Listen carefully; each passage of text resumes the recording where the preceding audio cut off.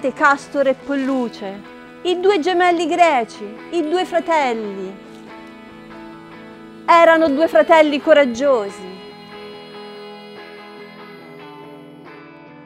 Erano figli di Zeus e di Leda. Castore era un eccellente auriga e Polluce era un pugile, un pugile eccellente che vinse le Olimpiadi, protettori delle arti, della musica, della poesia.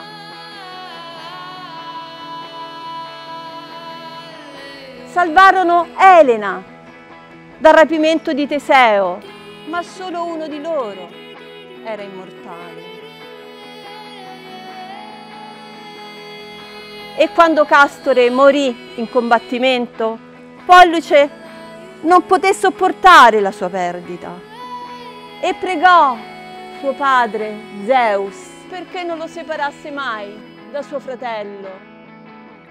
E allora Zeus lo ascoltò e li trasformò in stelle, una costellazione che potete vedere a primavera, quella dei gemelli perché così restarono per sempre insieme.